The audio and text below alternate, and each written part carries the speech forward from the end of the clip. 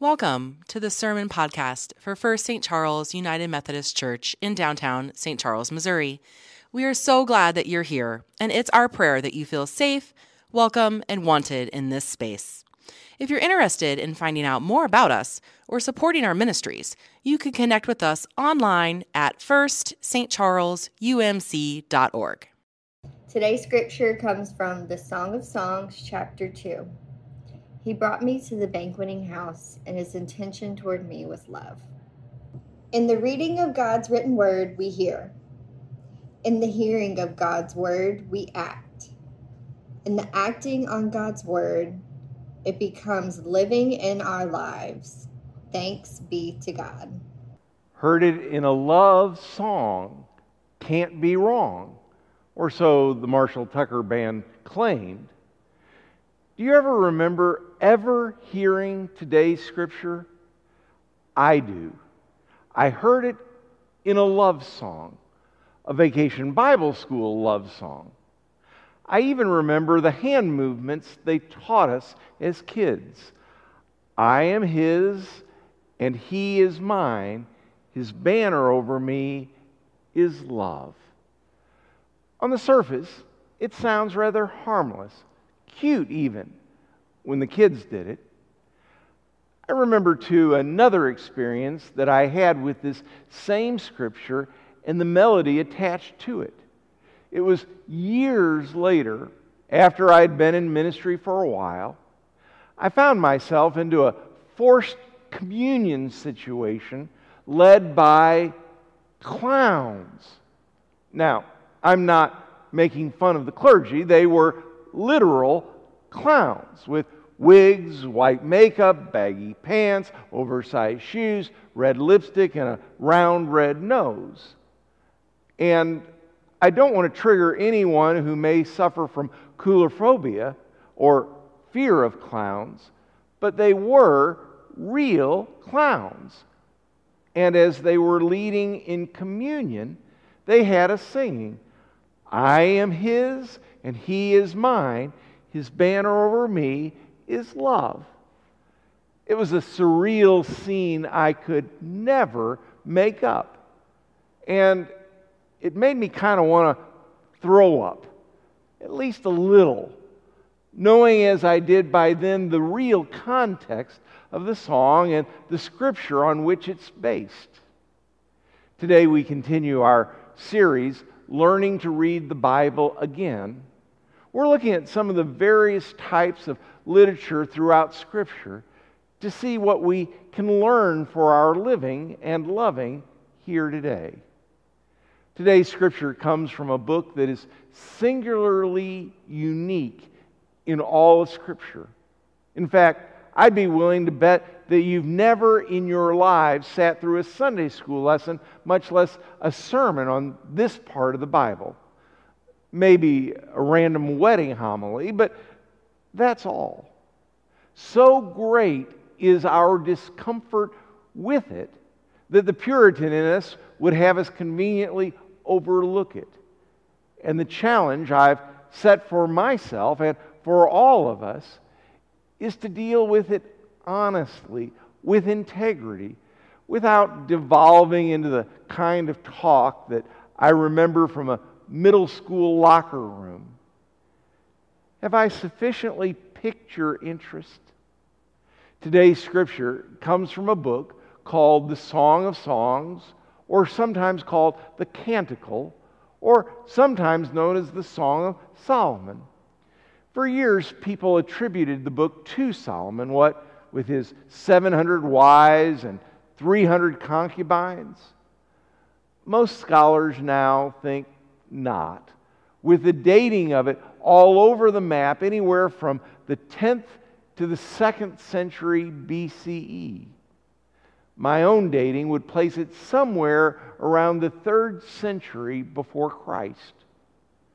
What it is, the, the whole book, is a love poem or a song. More explicitly, it's an erotic piece that, if made into a movie, would easily be rated NC 17, clearly adult. In our canons, it comes right after Proverbs and Ecclesiastes as the last of the wisdom literature. One could wonder what wisdom ever thought it should be included in Scripture. Here's a PG sampling that we've run through the filtering Scripture, filtering filter of every last one of our clergy to show that it would be okay to share today. Chapter 1, verse 15. Behold, thou art fair, my love. Behold, thou art fair. Thou hast dove's eyes. My beloved spake and said unto me, Rise up, my love, my fair one, and come away. For lo, the winter is past, the rain is over and gone. The flowers appear on the earth. The time of the singing of the birds is come, and the voice of the turtle is heard in our land. The fig tree putteth forth her green figs, and the vines, the tender grape, give a good smell. Arise, my love, my fair one, and come away in the secret places of the stairs. Let me see thy countenance, for thy countenance is comely. My beloved is mine, and I am his. He feedeth among the lilies. Behold, thou art fair, my love. Behold, thou art fair. Thou hast dove's eyes within thy locks. Thy hair is like a flock of goats that appear on Mount Gilead. Thy teeth are like a flock of sheep that are even shorn. Thou art fair, my love. There is no spot in thee. I am come into my garden, my sister, my spouse. I have gathered my myrrh and with my spice. I have eaten my honeycomb with my honey. His mouth is most sweet. Yea, he is altogether lovely. This is my beloved, and this is my friend. Some of you may know this one because of the lyrics of a contemporary Christian hymn, Here I Am to Worship, and its line, Altogether Lovely. And then, Set me as a seal upon thy heart, as a seal upon thine arm for love is as strong as death, jealousy is cruel as the grave. The coals thereof are coals of fire, which hath a most vehement flame. Many waters cannot quench love, neither can the floods drown it. If a man would give all the substance of his house for love, it would surely be scorned. Because of the song's sizzling sensuality, there are some who would argue for this book's banning, not just from schools, but from the Bible. And if you want even more reasons to overlook this book, there's not one single mention of God or the nation Israel or the law or sin or the mighty acts of God in salvation. Not one of the Bible's other big themes are there. It's like in the heat of passion, all those things are forgotten.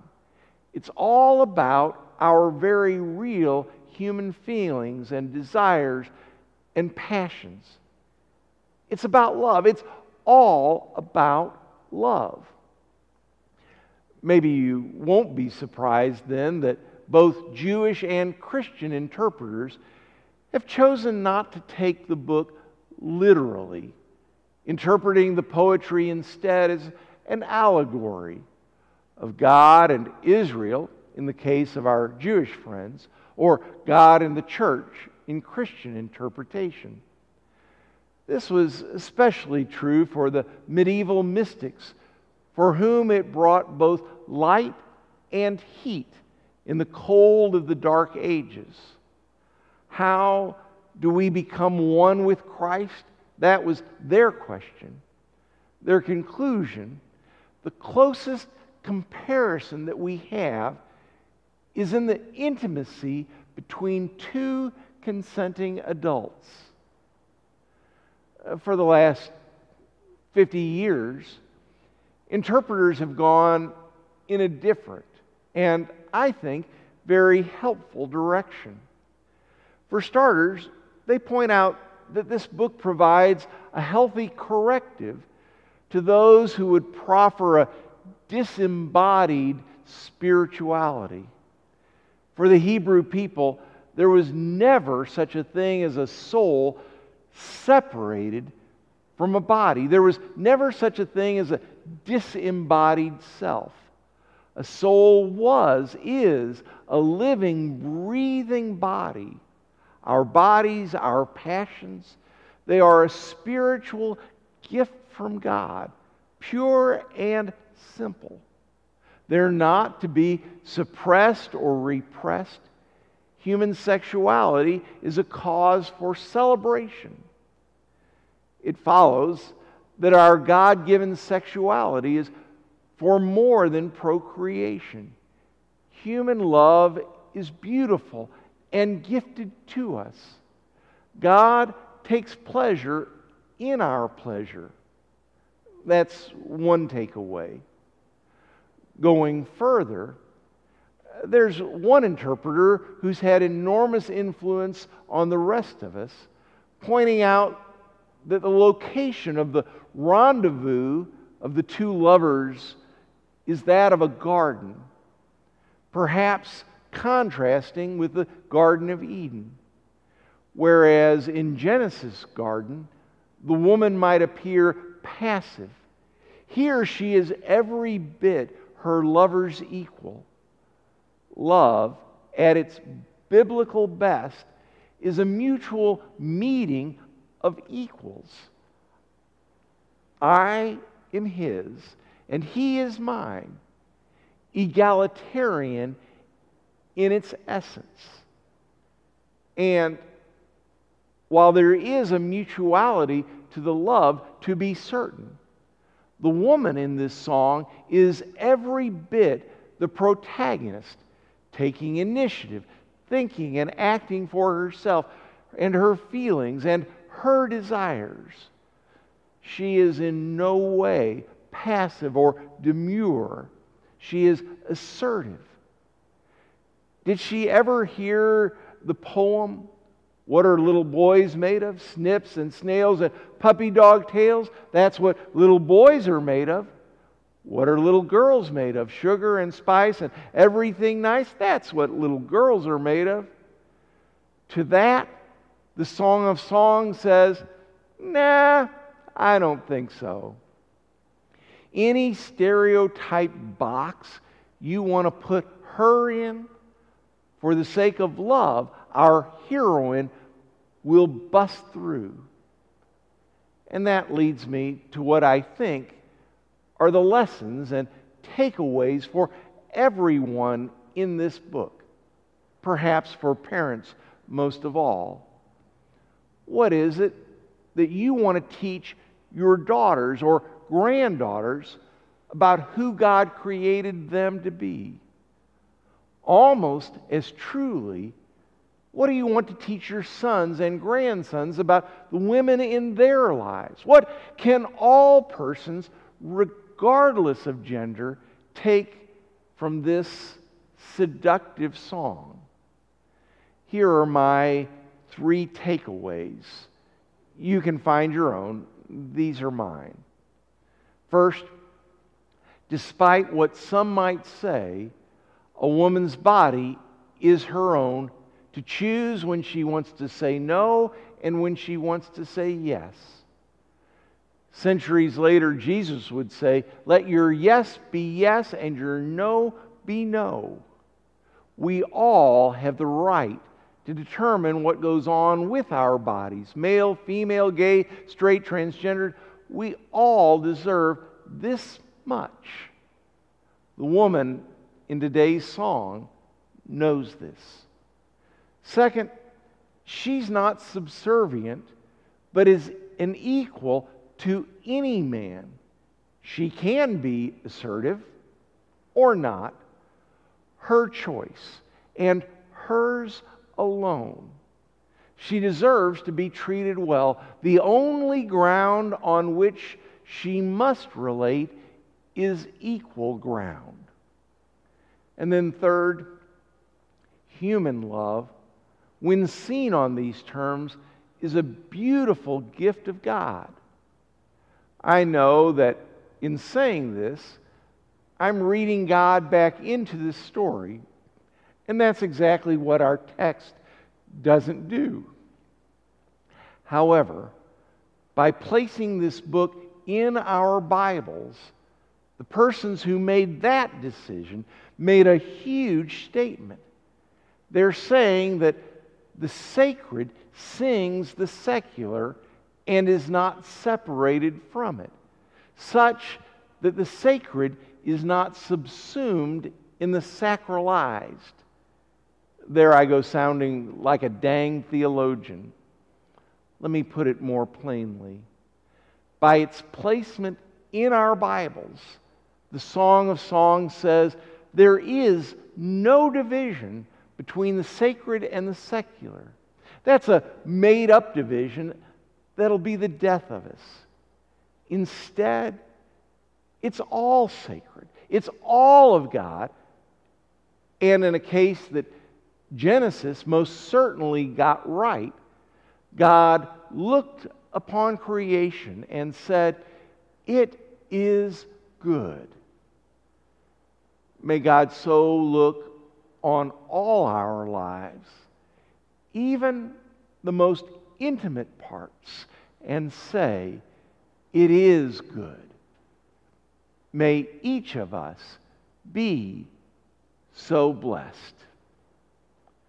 Now, feel free to go home and read all eight unedited chapters for yourself.